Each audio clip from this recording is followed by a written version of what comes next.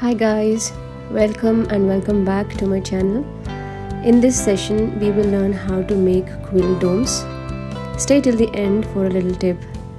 Enjoy the video. Okay, a quill dome looks like this.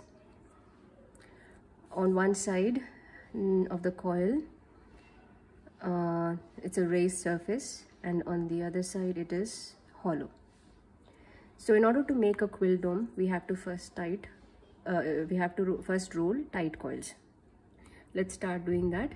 And before we start, uh, let me just walk you through the tools that we need. We need the essential quilling tool, slotted tool, and some glue and a few quilling strips. And today we'll work with a new tool called quilling mold. A quilling mold looks something like this you see the raised surfaces here and the hollow space on the other side. Let's see how we can make uh, domes using the quilling mold. Today i will work with pink and uh, green strips to make a um, uh, quilling dome.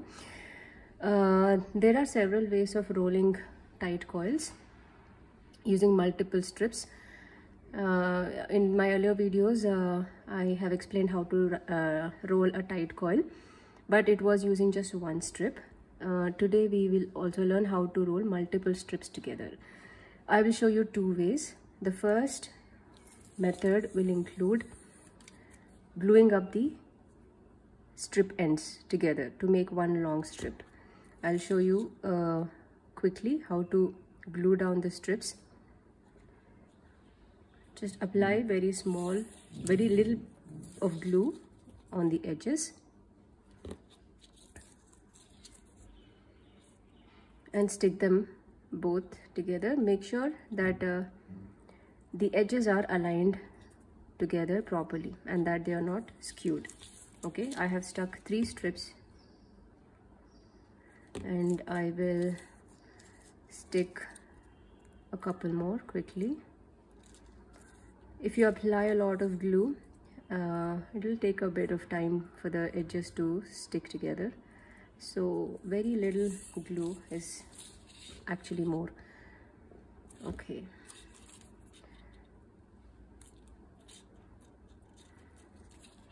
Do not rush through sticking the edges together because if it is still uh, wet when rolling the strips will come off.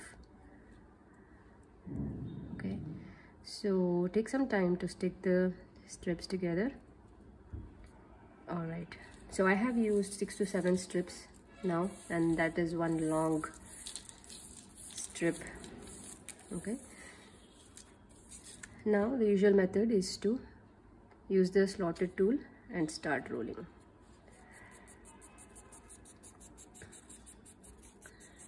make sure you start rolling once the glue is dried on all the edges of the strips. Okay. And from time to time it's better to keep tugging at the coil just to make sure that it is uniformly wound and that there, there are no loose parts of the coil. Okay. All right we reached at the end of the strip. Now one final tug and then i'll stick it down and because it is a pretty long strip be careful when you are pulling it out. And the strips are tightly wound so uh, be careful when you pull the tool out. Okay all right. Now this is a tight coil. So there are six seven strips in it. And that's how a tight coil is wound using multiple strips okay. Before we proceed to making a dome i want to show you the other method of uh, sticking uh, multiple strips together. Okay. For this i'll take pink and green strips. Instead of sticking the edges together all at once i would want to roll individual strips. First the i'll start with the pink strip. I'll just start wind uh, rolling it as usual. And when you reach the end of the strip take the uh, take another strip insert insert the edge of the other strip into it. Make sure it is aligned well. And then start rolling as usual.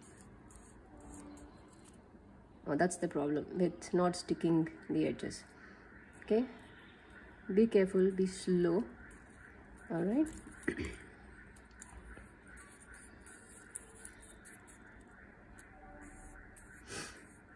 When you reach the end leave considerable amount of the strip at the end so that the other strip sits well through the gap.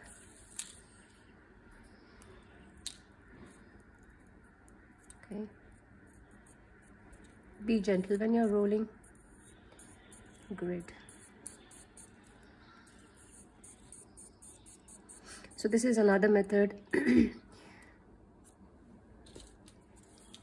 I usually stick them down but uh, if you are comfortable with this method you can do it this way also.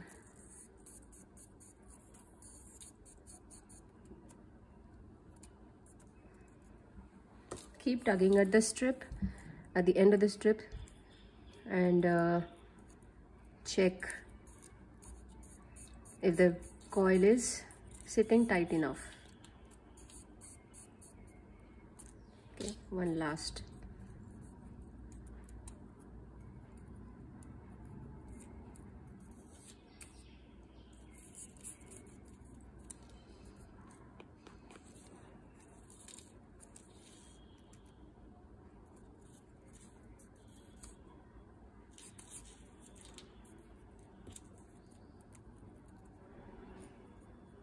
this method is uh, especially useful when you are using with when you are uh, trying to make a dome using thinner strips. This is a 5 mm strip here uh, that i'm using. Uh, if you are using okay. If you are using 1 mm 1 mm or 2 mm strips uh, even though you stick it it will be sometimes difficult to get them rolling because they might snap so it is better to give the extra strength to the 1 mm or 2 mm strip by uh, inserting it into the other uh, coil into the coil rather than sticking the strips together first and then start rolling okay? So there we are done. We will glue it down. There. Again be careful uh, to wait until the edges the edge is sealed and before you take it off the tool.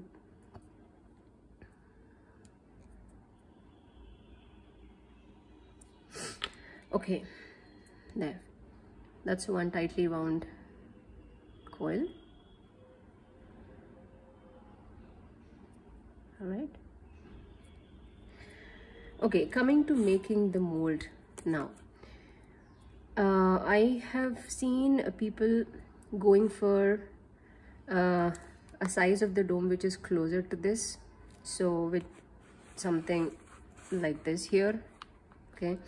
And they start pressing it down right from there. But what i would like to do is i would like to start from a bigger mold just to get the center pressed down well okay. So the point here is the center the center of the coil. So from there i start from a larger circle larger dome to the next one to the next smaller one and then to even smaller one. And then I just keep doing it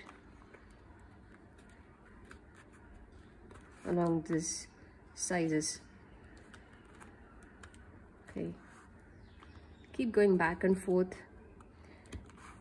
Do not press on any one side but press from the center downwards. Okay so that's it. Uh, this is the max. There. That's the dome. Okay. The surface of the coil uh, the surface of the dome has to be uniform. There are no uh, paper sticking out like in this unlike in this dome um, this you can see the the edge of the paper sticking out here so there are bumps in the surface right? We we don't want that. We need a neat finish to it. Uh, this happened because while sticking the strips together uh, I did not align uh, the edges properly.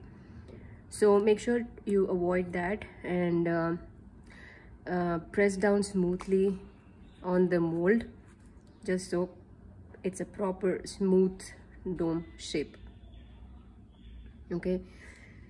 Uh, let's do the same thing for the other coil too I'll start with the bigger mold. Press it down from the center towards the sides. Move along to the smaller domes. It's always from the center to the sides side and down. Center side and down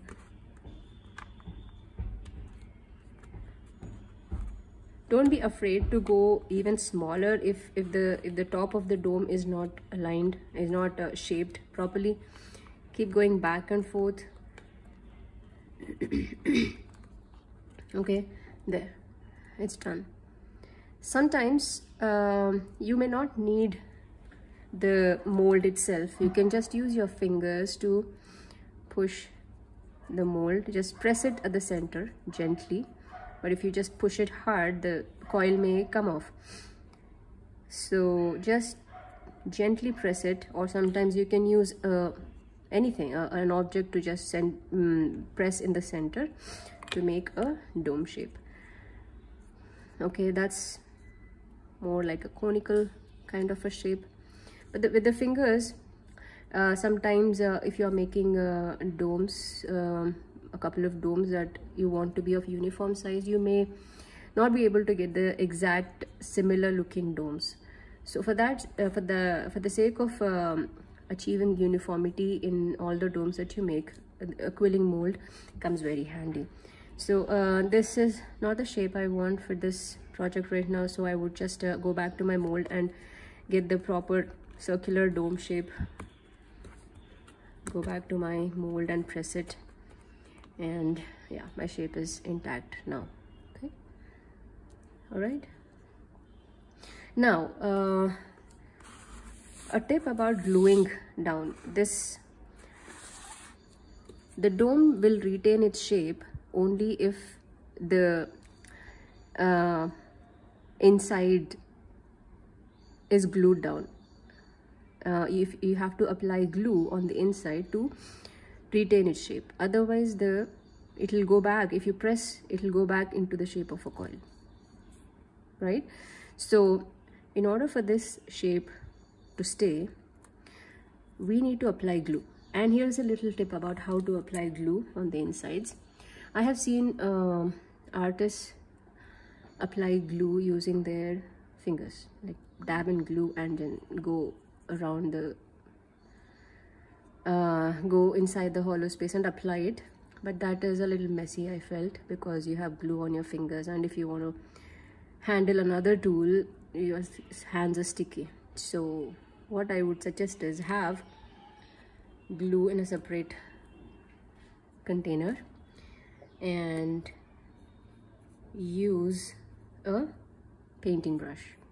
You can use a skewer stick also but with a skewer stick you cannot go in the center and you cannot apply evenly. So a brush is a very handy tool a paintbrush.